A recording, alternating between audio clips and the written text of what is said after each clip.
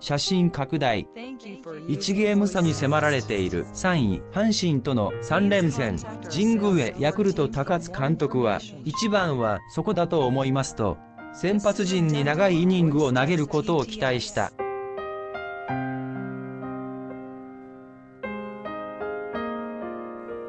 前週に6回以上を投げたのは小川7回だけ。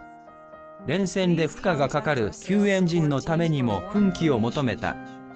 今日28日は中5日で伊能は前回登板で初勝利を挙げた原は万全を期して中7日で2戦目に先発する。